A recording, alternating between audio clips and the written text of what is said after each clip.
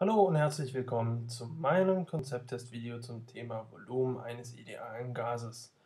So, die Frage ist, ein Luftballon ist bei 25 Grad Celsius mit einem Liter Luft gefüllt. Der Ballon wird nun 10 Meter unter Wasser getaucht. Wie groß ist sein Volumen jetzt? Es gibt vier Antwortmöglichkeiten. A ist 1 Liter, B ist 0,5 Liter, C ist 0,25 Liter und D ist 1 Liter. Es benötigt die Vorwissen für diesen, für diesen Konzepttest ist der hydrostatische Druck und das ideale Gasgesetz. So, wir haben hier einen Ballon, den tauchen wir 10 Meter unter Wasser und haben am Anfang die Parameter Temperatur ist 25 Grad Celsius, also 298,15 Kelvin. Der, das Volumen liegt bei 0,001 Kubikmeter, also einem Liter. Der angenommene Atmosphärendruck hier liegt bei 10 hoch 5 Pascal. Die Parameter am Ende sind 298,15 Kelvin, also 25 Grad Celsius. In der Temperatur verändert sich nichts. Das Volumen am Ende kennen wir noch nicht, das wollen wir ausrechnen. Und der Druck am Ende ist der Druck am Anfang, zu dem der hydrostatische Druck addiert wird. Unser System ist also ein geschlossenes System, das bedeutet, es ist kein Austausch von Materie möglich.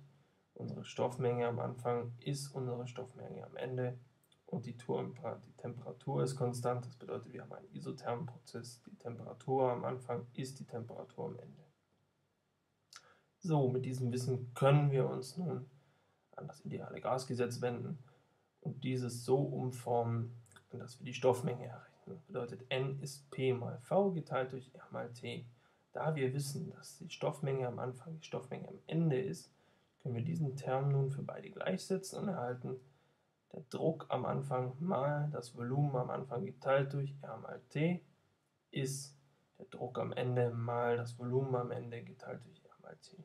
Das können wir jetzt mit R mal T durchmultiplizieren, wodurch sich diese beiden Ausdrücke hier rauskürzen und wir bekommen Druck am, Ende, am Anfang mal das Volumen am Anfang ist gleich dem Druck am Ende mal dem Volumen am Ende.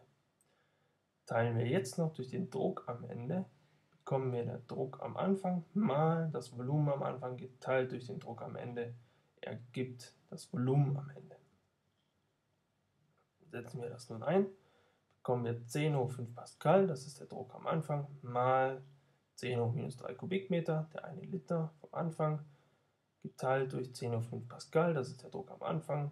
Zudem wird nun der hydrostatische Druck addiert. Das ist die Dichte, also 1000 Kilogramm pro Kubikmeter, die Dichte von Wasser, mal die Tiefe 10 Meter, mal die Erdbeschleunigung 9,881 Meter pro Sekunde zum Quadrat und die richtige Lösung hierbei ist nun 0,5 mal 10 hoch minus 3 Kubikmeter und damit ist die Lösung für diesen Konzepttest 0,5 Liter. Vielen Dank fürs Zusehen.